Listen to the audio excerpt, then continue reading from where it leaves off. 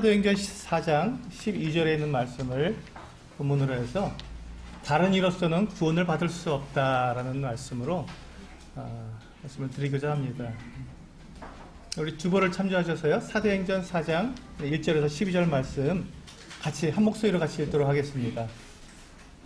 사도행전 예, 4장 1절에서 12절 말씀 같이 예, 읽겠습니다. 시작.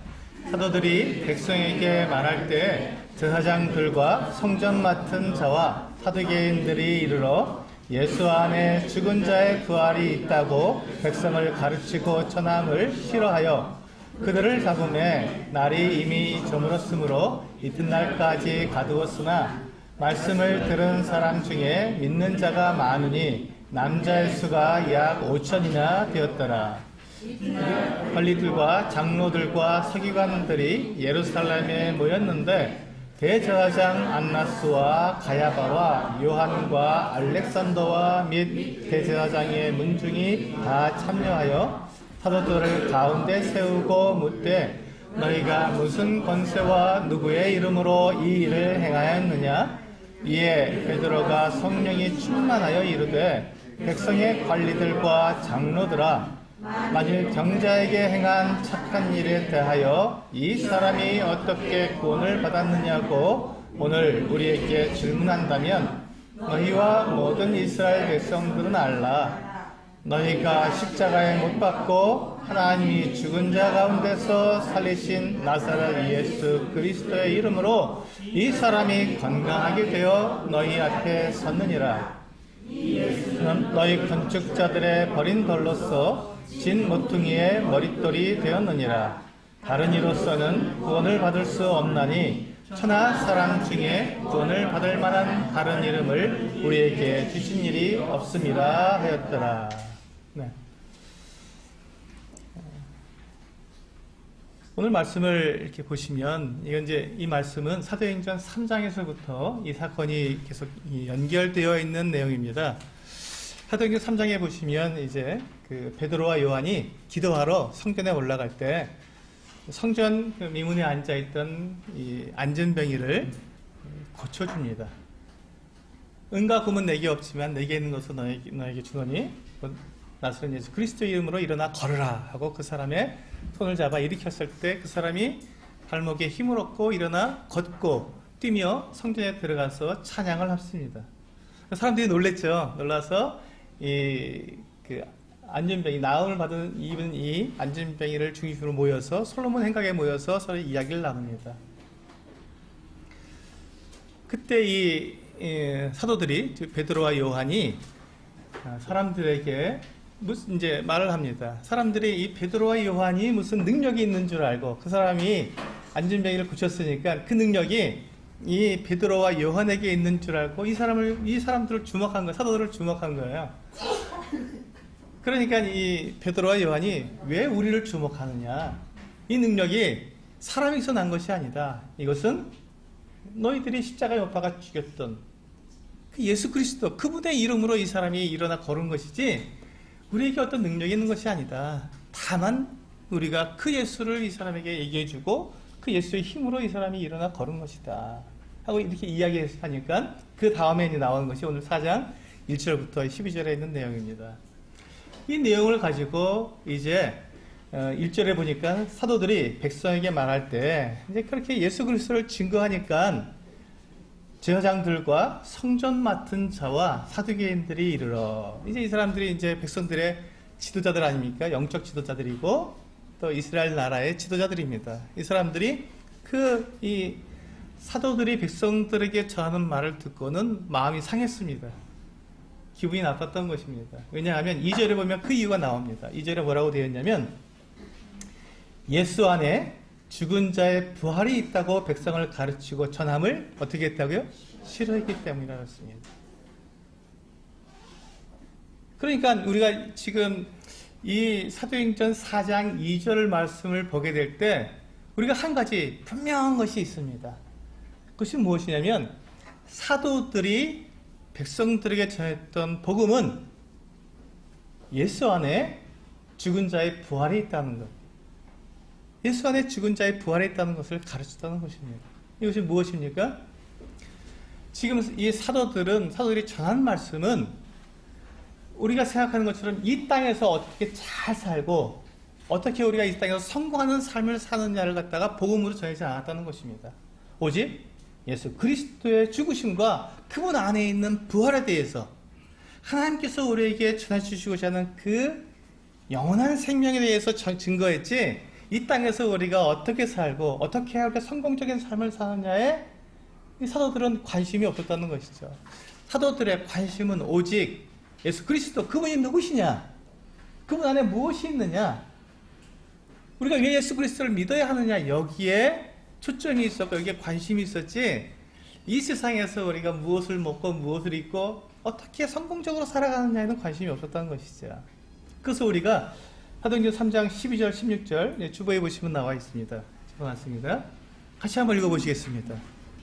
그 앞에서 이 베드로와 요한이 그렇게 그 안전병이를 고쳤을 때 사람들이 그들을 주목했을 때 그들이 한 말이 무엇인가? 그들이 백성들에게 무엇을 전했는가? 이게 3장 12절에서 16절까지 나와 있는데요. 같이 읽어보겠습니다. 시작.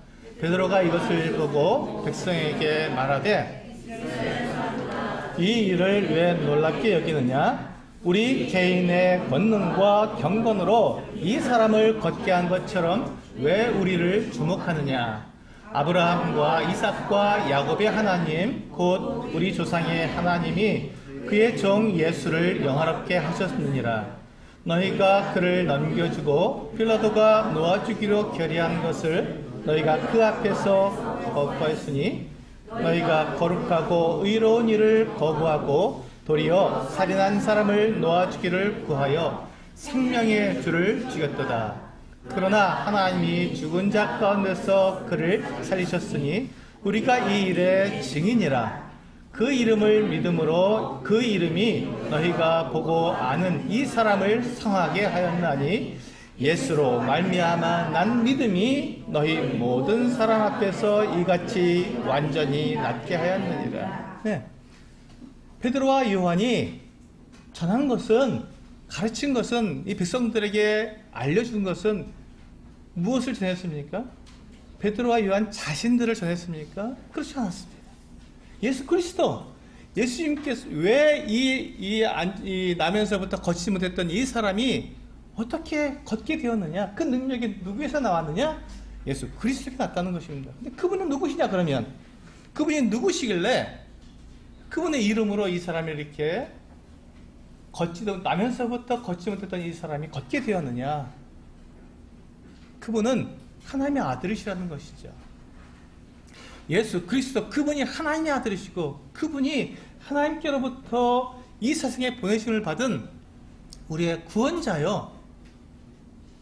그분이 우리의 우리를 구원하실 우리의 생명을 영원한 생명을 책임지신 하나님께서 처음부터 우리들에게 말씀해 주시고 약속해 주시고 그것을 수천 년에 걸쳐서 그 약속을 이루시기 위해서 하나님께서 수많은 사람들과 약속하시고 선지자를 보내셔서 그리고 결국 때가 되었을 때 베들레헴에 아기의 모습으로 태어나신 독생하신 그분 말씀이 육신이 되어 태어나신 바로 그분 그분이 바로 예수 그리스도 하나님의 아들이시라는 것이죠.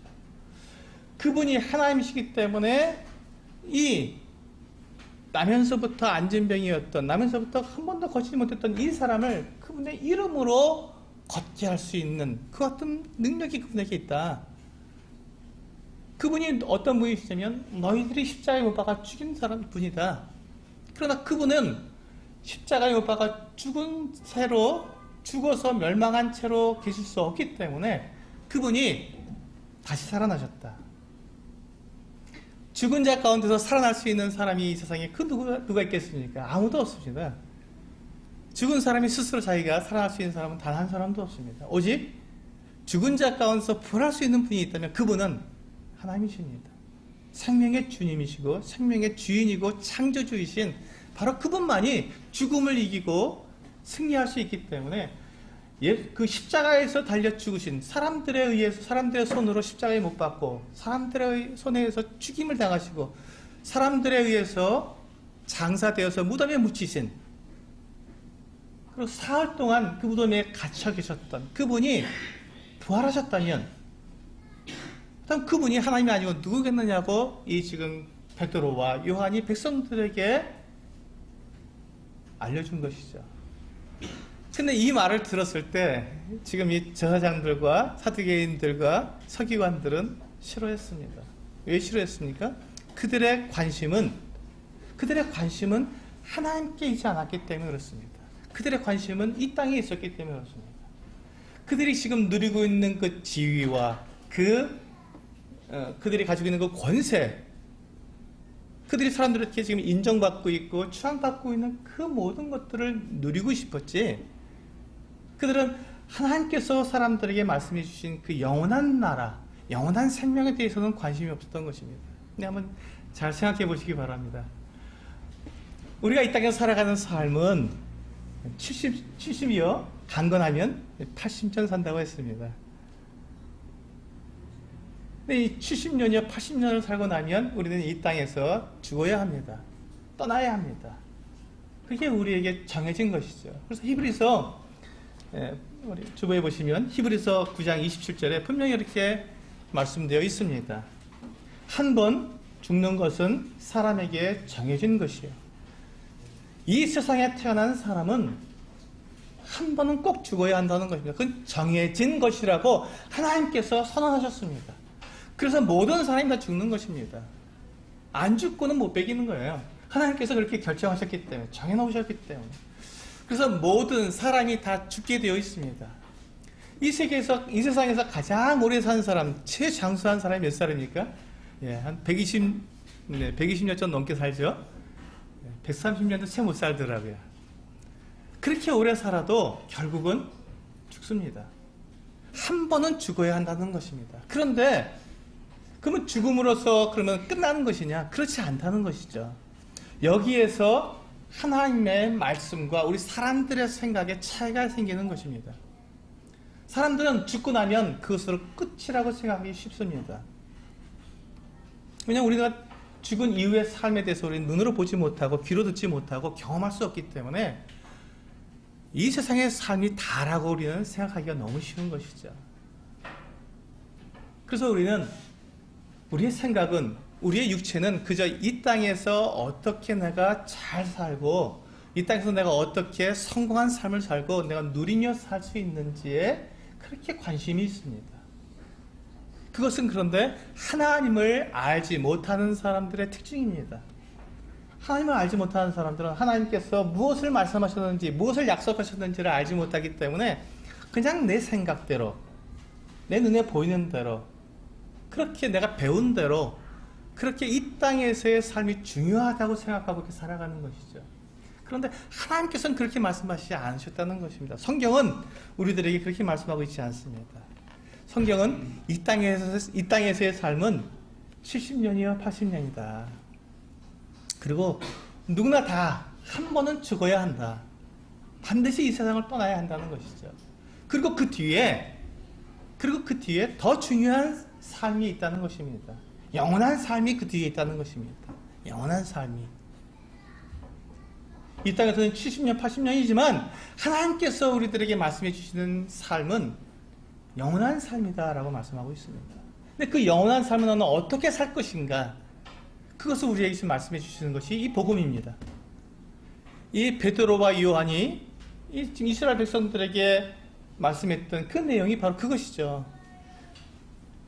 예수 안에 죽은 자의 부활이 있다. 사람이 한 번 죽고 그것을 끝나는 것이 아니라 부활이 있다는 것입니다. 다시 살아서 살아가는 영원한 생명이 있다는 삶이 있다는 것입니다. 그래서 우리는 그 요한복음 5장 29절 예, 주보를 보시고 같이 같이 한번 읽어보겠습니다. 요한복음 5장 29절입니다. 시작. 선한 일을 행한 자는 생명의 부활로 악한 일을 행한 자는 심판의 부활로 나오리라. 그렇습니다.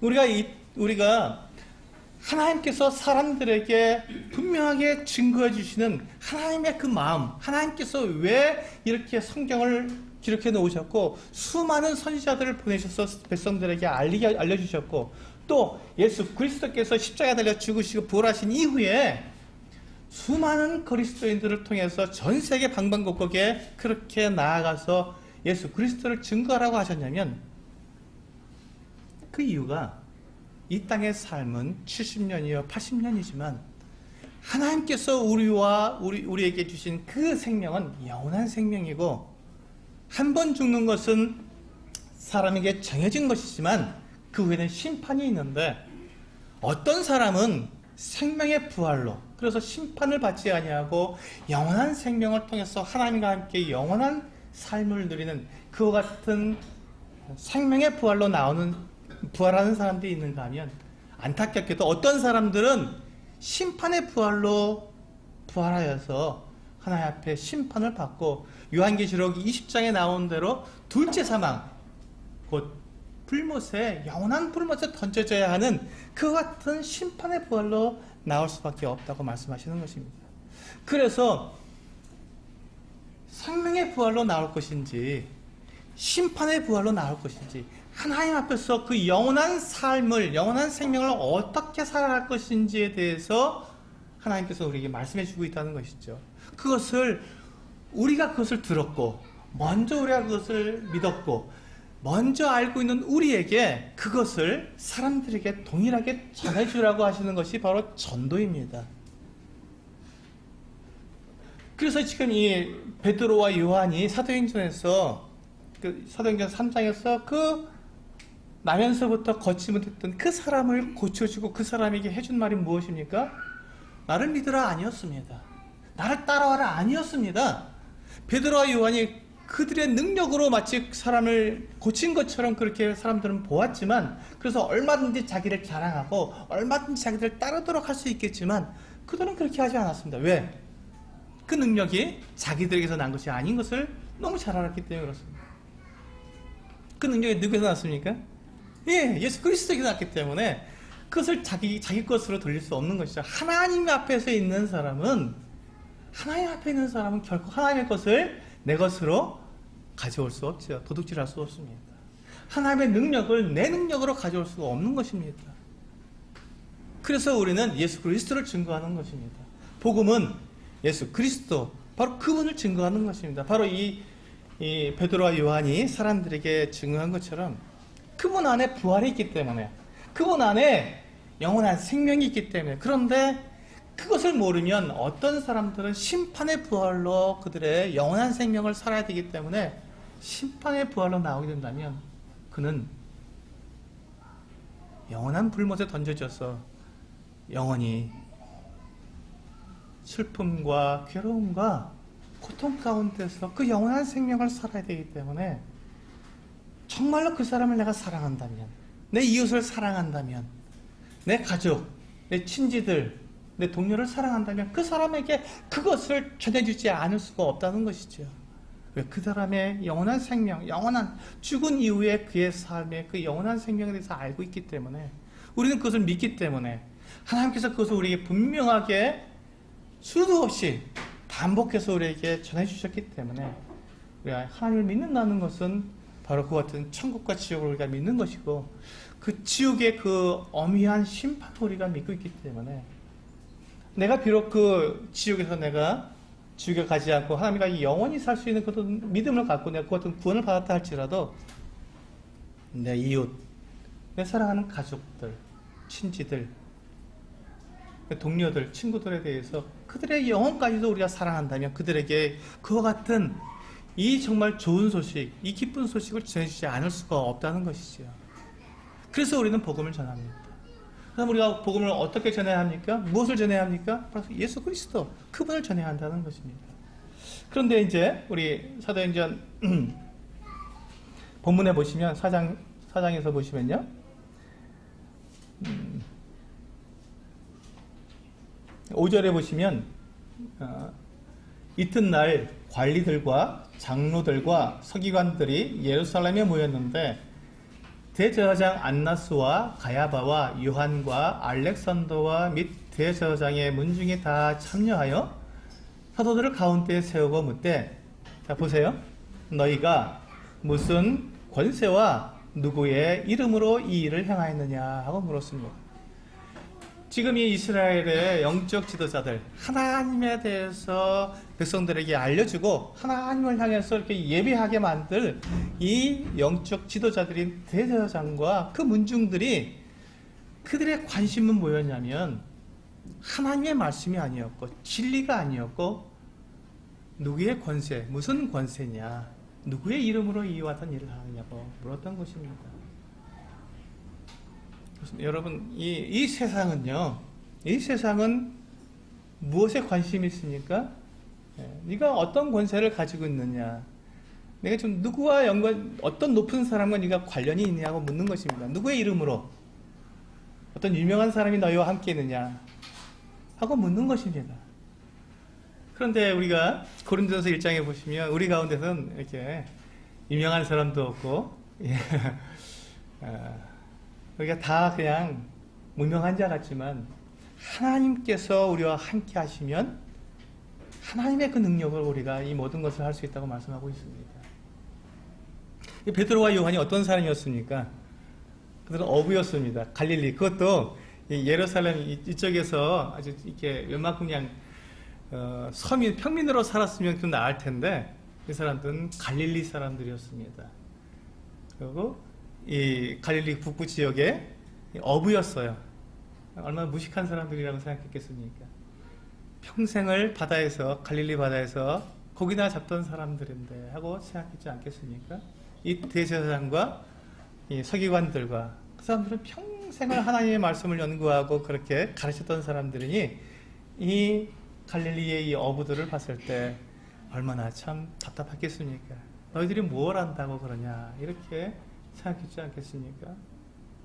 그래서 그 이 베드로에게 물었습니다. 베드로와 요한에게 너희가 무슨 권세로 누구의 이름으로 이와 같은 일을 행했느냐 하고 물었습니다. 우리가 복음을 전하면 사람들이 우리에게 뭘 묻습니까? 사람들이 우리에게 뭘 묻습니까? 당신이 무슨 권세로 그렇게 복음을 전하냐고 묻지 않겠습니까? 그때 그때 베드로가 뭐라고 대답 어, 떻게 했는지 한번 보겠습니다. 8절에 보시면 본문 4장 8절에 보시면 이에 베드로가 성령이 충만하여 여기에 권세가 있습니다. 여기에 베드로가 복음을 전하는 그 권세가 여기에 있습니다. 여러분 성령이 충만하는 것이 무엇입니까? 하나님께서 그와 함께 계시다는 것입니다. 성령이 충만하다는 것은 어떤 맛 내가 붕붕붕 뛰고 날뛰고 막 이상한 소리 내고 그런 것을 성령이 충만하다고 말하지 않습니다. 성령이 충만하다는 것은 성령께서 하시는 그 일을 우리가 함께 한다는 것입니다. 하나님께서 하시는 그 일을 우리가 한다는 것이죠. 성령께서 왜 우리와 함께 하십니까? 성령께서 하시는 그 일이 무엇입니까? 성령은 예수 그리스도께서 누구신지를 사람들에게 증거해 주시는 분이십니다. 예수님이 하나님의 아들이심을 사람들이 믿도록 하기 위해서 때로는 어떤 이적 같은 것도 행하시는 분이십니다. 때로는 죽은 사람을 살리기도 하시고 병자를 낫기도 하시는 그 일이 왜 그렇습니까? 예수 그리스도 그분이 하나님의 아들이시라는 걸 나타내기 위해서 그와 같은 것들을 사람들에게 표적으로 보여주시는 것이지 우리가 그와 같이 붕붕붕 떠서 사람들을 막 하는 그것을 위해서 다만 사람들의 병고침이나 이런 것들을 하기 위해서 우리가 성령께서 우리에게 임하신 것이 아니라는 것입니다. 성령이 우리 안에서 하시는 일은 예수 그리스도 그분이 하나님의 아들이시라는 것을 사람들에게 나타내기 위해서 그분은 그것에만 관심이 있으신 거예요. 요한복음 15장, 13장부터 여러분 16장까지, 17장까지 쭉 읽어보시면 성령께서 무슨 일을 하시는지가 자세히 기록되어 있습니다. 그래서 그분 성령께서는 우리가 성령과 성령께서 성령으로 베드로가 성령이 충만하여 그가 성령이 충만하는 것은 무엇을 말합니까? 이제 그는 하나님께서 사람들에게 뜻하고 계신 그 일, 성령께서 사람들에게 나타내시고자 하시는 그 예수 그리스도 그분을 증거할 수 있는 그 담대함과 그 능력과 그것을 갖추었다는 말입니다. 하나님께서 함께 하시면 그것보다 더 큰 권위가 있겠습니까? 지금 이 대세장이 물었습니다. 너희가 무슨 권세로 이와 같은 일을 하느냐. 그때 여러분 베드로는 뭐라고 말하는 겁니까? 지금 성경은 뭐라고 말씀하고 있는 것입니까? 베드로가 가진 권세가 무엇이라고요? 하나님의 권세라고요. 하나님의 권세라고요. 하나님의 권세로 베드로와 요한은 지금 이 일을 하고 있다고 말하는 것입니다.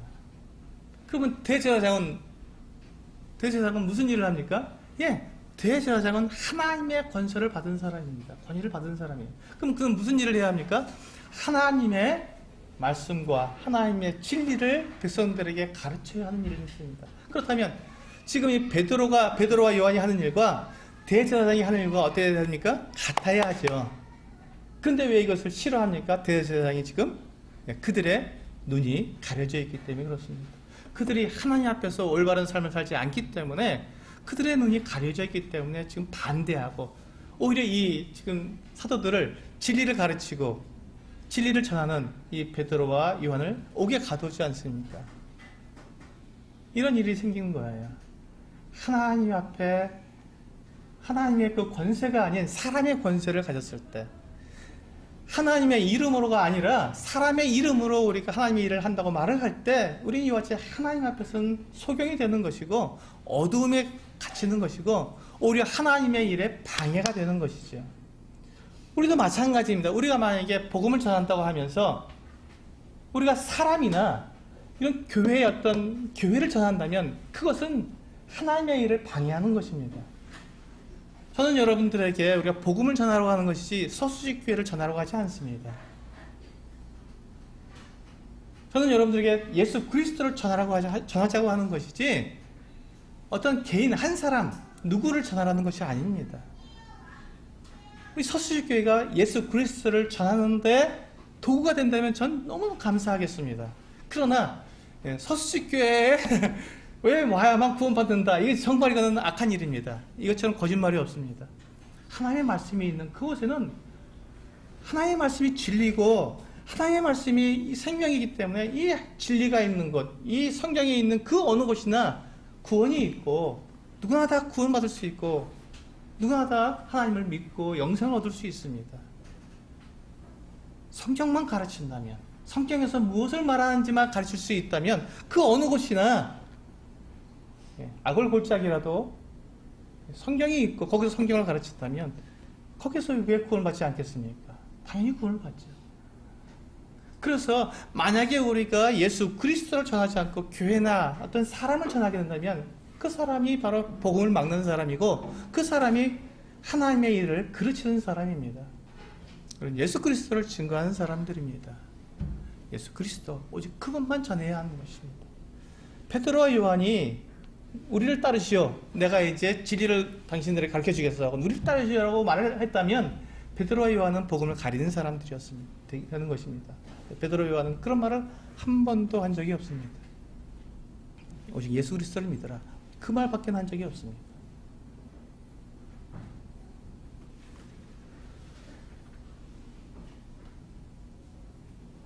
그래서 우리가 갈라디아서 6장 14절 말씀 오늘 우리가 묵상 구절로 제가 주보에 실었는데요. 갈라디아서 6장 14절 말씀입니다. 같이 한번 읽어보시겠습니다. 갈라디아서 6장 14절 시작. 내게는 우리 주 예수 그리스도의 십자가 외에 결코 자랑할 것이 없으니 그리스도로 말미암아 세상이 나에 대하여 십자가에 못 박히고 내가 또한 세상을 대하여 그러하니라. 그렇습니다. 우리는 예수 그리스도의 십자가를 전하는 사람들이지 이 세상에서 우리가 어떻게 살 것인지를 전하는 사람들이 아닙니다. 혹시 우리가 이 땅에서 어떻게 잘 살고 부자로 살고 성공한 삶을 살기를 원하신다면 그 인문학 강의를 들으시면 됩니다. 인문학은 그런 걸 가르치거든요. 네. 그러면 우리가 다른 사람을 어떻게 잘 대해서 내가 어떻게 성공적인 삶을 살 수 있는지 정말 잘 가르쳐 줍니다. 근데 성경은 성경에서는 생명을 얻는 것이지 성공을 얻는 것이 아닙니다. 물론 성경에서 우리가 예수 그리스도를 믿고 예수 그리스도를 전하는 우리들에게 하나님께서는 우리가 이 땅에서 잘 살라고 말씀하십니다. 잘 살라고. 근데 그 잘 사는 것이 우리가 생각하는 잘 사는 것과는 다르겠지요. 이 세상에서 말하는 웰빙이라는 것과는 다른 것입니다. 하나님께서 우리에게 말씀하시는 이 땅에서 잘 살아가는 것은 무엇이냐면 우리가 하나님께서 우리에게 계획하고 계신 하나님과 함께 영원히 교제하며 사랑하며 하나님의 그 모든 것들을 누리며 살아갈 수 있는 그 영원한 생 이 땅에서 70년, 80년을 사고 난 다음에 하나님과 함께 영원히 살아갈 그 삶을 준비하는 그 준비하는 삶을 잘 살아가는 것이죠. 우리가 이 땅에서 한번 여러분 그냥 단순하게 생각해 보시면 좋겠습니다. 그냥 영원한 생명이라 그러니까 우리가 계산이 잘 안 되잖아요. 예, 그냥 천년만 한번 생각, 천년만. 예, 다 거두절미하고 천년이라고 생각하시고 이 땅에서 우리가 백년 산다고 하시고요. 여러분 백년에다가 투자하시겠습니까? 아니면 천년에다가 투자하시겠습니까? 이걸 묻는 거예요. 사실은요. 성경에서는 성경에서 우리에게 말씀하시는 것은 너희들이 이 땅에서는 백년 산다. 그리고 나하고는 천년, 만년 산다. 그럼 너희들이 어떤 삶에 투자할래? 라고 물으시는 것입니다. 근데 사람들이 예, 그냥 그럼 나 100년 잘 살고 말래요 하고 생각하면 어리석지 않습니까? 바로 그것이 바로 하나님께서 우리에게 말씀하시는 사람들이 어리석다고 하나님께서 이 성경에서 어리석은 사람들아라고 말씀하시는 게 바로 그것입니다. 100년 살고 말래요 하는 사람들. 하나님께서는 천년, 만년 영원히 하나님과 함께 정말 행복하고 하나님의 그 사랑과 그 영원하신 그 품성과 거룩하심 속에서 우리가 영원히 살 수 있는 그 길을 다 마련해 놓으셨고 그 길로 들어가고 하시는데 나 그냥 이 땅에서 100년 동안 잘 먹고 잘 살다가 끝낼래요. 근데 끝나는 게 아니지 않습니까? 아까 우리가 본 것처럼 한 번, 한 번 죽는 것은 사람에게 정해진 것이요. 그 후에는 심판이 있다고 말씀하셨, 말씀하셨습니다. 하나님의 말씀은 심판이 있다고 말씀하셨습니다. 내 마음대로 그걸 바꿀 수가 없습니다. 그래서 주님께서 우리에게 말씀하시는 것은 우리가 무엇을 자랑하겠느냐? 무엇을 자랑하겠느냐? 내 육체를 자랑하겠느냐? 우리의 수가 많은 것을 많고 적음을 자랑하겠느냐? 건물이 크고 화려한 것을 우리가 자랑하겠느냐? 그것이 무슨 소용이 있느냐? 그것에 진리가 없다면, 생명이 없다면 그것이 무슨 소용이 있겠느냐? 하고 말씀하시는 것입니다. 생명 가운데로 나아오라고 부르시는 것입니다. 생명 가운데로. 근데 그 생명은 어디서 얻을 수밖에 없다고요? 우리 12절 보시면 나오지 않습니까? 본문 12절. 예. 10절, 10절도 읽으면 좋겠습니다. 10절부터 12절까지 같이 읽겠습니다. 본문. 4장 10절부터 12절까지 시작. 너희와 모든 이스라엘 백성들은 알라. 너희가 십자가에 못 박고 하나님이 죽은 자 가운데서 살리신 나사렛 예수 그리스도의 이름으로 이 사람이 건강하게 되어 너희 앞에 섰느니라. 이 예수는 너희 건축자들의 버린 돌로서 진 모퉁이의 머릿돌이 되었느니라. 다른 이로서는 구원을 받을 수 없나니 천하 사람 중에 구원을 받을 만한 다른 이름을 우리에게 주신 일이 없음이라 하였더라. 예, 그렇습니다. 바로 이것입니다. 다른 이로서는 구원을 받을 수 없다는 것입니다. 우리가 왜 복음을 전해야 합니까? 다른 이로서는 구원을 받을 수 없기 때문에 그렇습니다. 만약에 하나님께서 예수 그리스도 외에 다른 방법으로도 구원을 받을 수 있다면 우리 복음 전하지 않아도 됩니다. 그 방법으로도 할 수 있으니까요. 꼭 우리만 믿어 예수만 믿어야 한다고 우리가 전할 이유가 없지 않습니까? 다른 방법이 있다면. 그런데 하나님께서 우리에게 말씀해 주시기를 다른 이로서는 구원을 받을 수 없나니 천하 인간 중에 천하 사람 중에 구원을 받을 만한 다른 이름을 우리에게 주신 일이 없다고 말씀하셨습니다.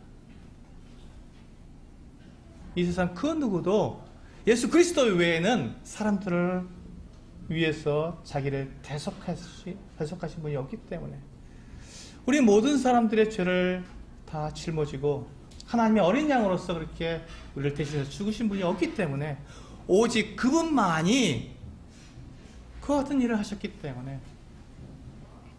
우리는 그분을 통해서 우리는 영생을 얻게 됩니다. 그런데 여러분, 만약에 우리가 그것을 전하지 않는다면 그런 사람들은 어떻게 되겠습니까? 제가 지난주에도 말씀드렸습니다. 하나님의 영원하신 계획, 하나님의 그 영원하신 계획, 창세 전부터 하나님께서 사람들을 지으실 때 가지고 계셨던 그 계획이 무엇이냐면 하나님은 사람들과 영원한 사랑의 교제를 나누기 원하신다. 하나님은 사람들과 영원한 사랑의 교제를 나누기 원하시는 것입니다. 그래서 사람을 만드셨습니다. 그래서 사람을 만드신 거예요. 그렇기 때문에 하나님께서 사람들 각자 한 사람 한 사람들의 머리털까지도 세신 받으시고 각자를 이름으로 아시는 그 이유가 무엇입니까? 그 사람과 함께 하나님께서 사랑의 교제를 영원히 누리고 싶어 하시기 때문에 그 한 사람 한 사람을 하나님께서는 잊으실 수가 없는 거예요. 그 한 사람을 잊을 수가 없죠. 너무너무 사랑하기 때문에. 그래서 그 한 사람을 위해서 누구를 보내셨습니까? 자기 아들. 하나님이가 아들, 하나님의 아들이시고 거룩하시고 이 세상 만물을 창조하신 창조주이신 하나님의 아들을 우리에게 보내주셨지 않습니까? 그 사람을 위해서. 자기 아들을 주고 바꾼 사람인데 잊어버릴 수가 있겠습니까? 자기 아들을 주고 바꿨는데. 자기 아들의 목숨으로 샀는데 무가치하게 보겠습니까? 관심을 두지 않게 보겠습니까? 그렇지 않다는 것이죠. 모든 사람 각자 한 사람 한 사람 이 세상에 지금 70, 70억의 인구가 있다고 하지만 70억에 있는 모든 사람에 대해서 하나님께서는 관심과 사랑과 연민을 가지고 계시고 그가 이 하나님의 이 마음과 이 진리를 깨닫고 하나님께로 돌아오기를 기다리고 계신다는 것입니다. 하나님은 한 사람도 지옥에 가기를 원치 않으십니다. 그것이 하나님의 사랑이죠. 그것이 하나님의 사랑입니다. 그다음 그 사랑을 받은 우리가 과연 우리는 어떻게 해야 하냐는 것입니다. 그 사랑을 받은 우리가 나는 이제 구원받았으니까 됐다. 난 예수 그리스도를 믿었으니 나는 이제 내 모든 죄가 다 용서받았고 나는 이제 하늘나라 가니까 나 이제 다 끝났다. 만세. 아멘입니다. 좋습니다. 그러면 내 자녀들은 내 이웃은 내 사랑하는 부모는 내 친구들은 내 가족들은 그들은 멸망해도 괜찮다는 것입니까? 그렇지 않다는 것이잖아요. 우리 그 갈라 우리 그 열왕기하 7장 9절 말씀을 한번 보시겠습니다. 주부를 참조하셨어요? 같이 읽어보실까요? 시작. 나병 환자들이 그 친구에게 서로 말하되 우리가 이렇게 해서는 아니 되겠도다. 오늘은 아름다운 소식이 있는 날이거늘 우리가 침묵하고 있도다. 만일 밝은 아침까지 기다리면 벌이 우리에게 미칠지니 이제 떠나 엉에 가서 알리자 하고 네, 이 일은 어, 어, 북왕국 이스라엘의 수도인 사마리아 성에 있었던 일입니다. 이 그 아람 군대가 사마리아 성을 완전히 포위해서 전쟁을 해서 이제 차지 이게 공격하기 위해서 성을 완전히 다 둘러싸 버렸습니다. 포위해 버렸습니다. 완전히 다. 그래서 예, 아무도 들어가고 나올 수 없게 만들어 놨습니다. 성 안에 사람들이 그 안에서 들어가 있는 거예요. 근데 이제 적군이 와서 다 둘러싸 버려서 아무도 성에서 나오지도 못하고 들어가지 못하게 그냥 지키고 있는 것입니다. 그성 안에 있는 사람들이 거기서 하루, 이틀, 일주일, 열흘, 한 달이 지나면 어떻게 됩니까? 그 성 안에서 먹을 것이 다 떨어지게 되죠. 그래서 이제 사마리아 성 안에 먹을 것이 다 떨어졌습니다. 굶기 시작했어요. 굶기 시작한 거예요. 계속 굶기 시작했습니다. 굶다가 굶다가 보니까 너무 배고프니까 어떻게 됩니까? 정말 끔찍한 일이 일어났습니다. 자기 자식을 삶아서 먹는 일까지 일어난 거예요. 이것을 보고 우리는 아비규환이라고 말을 하죠. 아비규환의 상황에 사마리아 성이 들어가게 된 겁니다. 오늘은 내 아들을 먹고 내일은 네 아들을 먹자 이렇게 된 것입니다. 근데 하나님께서 그때 그 사마리아 성에게 예, 예언을 했습니다. 걱정하지 말아라. 내가 내일 아침이면 너희들이 배불리 먹겠다. 정상적으로 다 모든 것이 다 이루어지겠다고 약속을 해주셨습니다. 그런데 그날 저녁에 밤에 사마리아 성 옆에서 이렇게 그 나병 환자들, 나병 환자들은요 이게 격리시켰기 때문에 성 안에서 살지 못하고 성 바깥에서 사용을 했습니다. 이 나병 환자 네 사람이 사마리아 성 바깥에 있다가 그들도 이제 성 안에서 음식을 주어야 먹고 사는데 성 안이 다 굶주려서 지금 아들을 잡아먹는 이 상황 속에 있는데 성 바깥에 있는 이, 이 나병 환자들이 무엇을 먹겠습니까? 그들도 배고파 죽게 생겼어요. 그래서 이 나병 환자 네 사람이 자기들끼리 얘기합니다.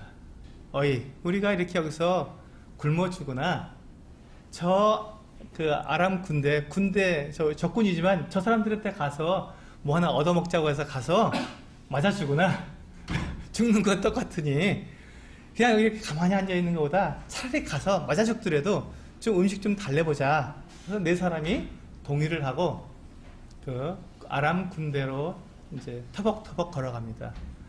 근데 하나님께서 놀랍게도 이 나병 환자 네 사람이 걸어오는 소리를 이 아람 이 군대가 착각을 한 거예요. 마치 큰 군대가 오는 것 같은 이 소리를 듣게 된 거예요. 하나님께서 그렇게 해주셨죠. 그래서 이 아람 군대들이 아마 이 지금 이스라엘 왕이 지금 다른 나라하고 이게 연결이 돼서 지원군을 요청해서 지금 큰 군대가 몰려온다. 우리 이렇게 있다 다 죽는다. 이 생각을 가지고 아람 군대들이 그냥 모든 걸 진을 그대로 두고 그들이 이제 전쟁하러 왔으니까 이 그 군수 물자를 다 갖고 왔잖아요. 음식을 먹고 이제 버텨야 되니까요. 그걸 그대로 다 두고 도망쳐 버린 거예요. 나병 환자 네 사람이 터벅터벅 걸어오는 소리를 큰 군대가 오는 걸로 착각하도록 만들어 주셔서 나병 환자들이 와서 이렇게 우리 먹을 것 좀 달라고 갔는데 아무도 없는 거예요. 군대 진에 갔는데 이게 그 천막에 들어갔는데 아무도 없는 거야. 가 보니까 먹을 것은 잔뜩 있고 또 은 금 보화들이 가- 잔뜩 있고 너무너무 행복하죠. 그래서 실컷 먹고 또 자기들이 필요한 이게 그 그런 보물들을 갖다가 숨겨놓고 그리고 이제 좋다 하고 딱 누워 있는데 그때 이 구절 말씀이 나온 겁니다. 바로 그때 나병 환자들이 그 친구에게 서로 말하되 우리가 이렇게 해서는 아니 되겠도다. 오늘은 아름다운 소식이 있는 날이거든을 우리가 침묵하고 있다다. 그렇죠. 지금 그 순간에도 지금 그 사마리아 성 안에는 무슨 일이 있습니까? 아비 교환이 일어나고 있습니다. 내렸으면 누구 자식을 잡아먹을까 그 생각을 하고 있다는 거예요. 그것을 알고 있는 이 나병 환자 네 사람의 마음속에 그들이 이제 실컷 먹어, 먹어보니까 그리고 그 군대가 삥 둘러 성을 둘러쌀 정도로 큰 군대가 왔으니 먹을 것이 천지에 널려 있는데 그 성 안에 있는 사람은 굶어 죽고 있으니 지금 우리들에게는 아름다운 소식을 내가 갖고 있는데 이것을 내가 전하지 않으면 알려주지 않으면 이것이 마땅하냐? 이것이 옳은 일이냐? 아니다. 만약 우리가 아침까지 기다린다면 화가 우리에게 미칠 거다. 아침이 되면 어차피 다 알게 될 텐데. 그렇죠? 초병들이 나와서 아람 군대가 자 뭐 하고 있나 하고 다 봤을 때 아무도 없으면 어차피 알게 될 텐데 지금 우리가 가서 알려주면 한 시간이라도 빨리 이들이 그 굶주리면서 벗어나게 된다면 그 좋은 소식이고 기쁜 소식일 텐데 우리가 여기 이렇게 잠잠히 있는 것은 옳지 않다. 자 가자. 그래서 이 나병 환자 네 사람이 사마리아 성에 갑니다. 가서 알립니다. 자초지종을 이야기하죠. 어떻게 됐겠습니까? 하나님께서 선지자를 통해서 너희가 내일 아침이면 풍족히 먹겠다고 하시는 그 예언이 그대로 성취되었고 그들은 그 아비교환에서 벗어날 수 있게 되었습니다. 여러분 복음은 동일한 것입니다. 이 세상에 지금 사람들이 살아가는 삶의 모습을 한번 살펴보시길 바랍니다. 사람들은요 정말 자기들이 멋지게 살아가는 것 같아도 하나님이 없음으로 말미암아 예수 그리스도를 알지 못함으로 말미암아 그들의 삶이 70년, 80년이면 끝나고 그 뒤에 뭐가 있는지 뭐 알지 못하기 때문에 풀어나기 때문에 그들은 그렇게 자기들의 삶을 이 70년, 80년을 그렇게 자기들이 악착같이 살기 위해서 욕심과 술수와 온갖 쾌락을 누리며 살고 싶어서 그렇게 엉뚱한 짓을 하고 살고, 살고 있지 않습니까? 이 서- 우리나라에서 우리나라에서 가장 지성이라고 하면 어떤 사람들이겠습니까? 또 법을 다루고 뭐 국회의원들 이런 분들 아니겠습니까? 또 뭐 대학 교수들이나 이런 분들 아니겠습니까? 그런데 그런 것- 그런 분들에 대해 연일 우리들에게 들려오는 이 뉴스에서 우리에게 전해주는 그 소식은 무엇입니까? 그분들도 우리와 별반 다를 게 없다는 거예요. 그분들도 역시 그, 그 사람들의 마음 안에 마음을 탁 열어놓고 보면 똑같이 욕심과 죄와 쾌락과 성적인 타락과 술 취함과 그 온갖 더러운 것이 그 안에 가득 쌓여 있어서 시시때때로 틈만 나면 그것이 튀어나와서 그 같은 짓을 하고 있다는 것입니다. 그러니 세상은 아비규환이죠. 언제 어디서 누가 어떻게 할지 모르는 그 같은 불안한 세상이고 두려운 세상입니다. 아비가 자식을 죽이고 자식이 아비를 죽이는 그 같은 세상이 지금 우리 세상 아니겠습니까? 아비 규환이 따로 있는 것이 아닙니다. 가진 자가 더 가지려고 강한 자에 있는 것을 빼앗는 성경에서 뭐라고 말합니까? 양을 100마리 갖고 있는 사람이 양 한 마리 갖고 있는 사람 그 하는 것도 빼앗아가려고 하는 것을 그것을 보고 하나님은 죄라고 말씀하셨는데 지금 이 세상이 그런 세상 아닙니까? 어떻게든지 내가 가진 것을 더 가지려고 그렇게 애를 쓰고 더 가질 수만 있다면 무슨 수단과 방법도 가리지 않겠다고 하는 것이 이 세상의 모습입니다. 우리가 그냥 이 세상에 우리가 같이 살고 있으니까 뭐 다 그런 거지 뭐 이렇게 지나가니까 우리가 그것을 우리가 살아가고 있는 것이지 객관적으로 우리가 세상에서 떨어져 나와서 한번 한번 살펴보시기 바랍니다. 이 세상이 어떤 세상인지. 이 사마리아 성의 그 어떤 아비규환과 뭐가 다를 것이 있겠습니까? 그들에게 누가 필요합니까?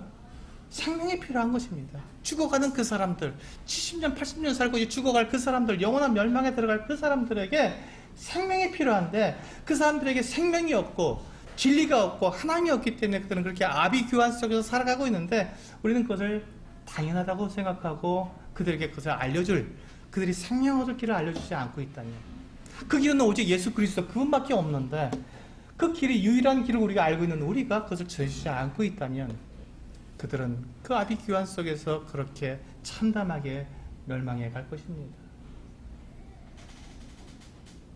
우리가 복음을 전하는 것은 사람들에게 생명을 주기 위해서 우리는 복음을 전하는 것입니다.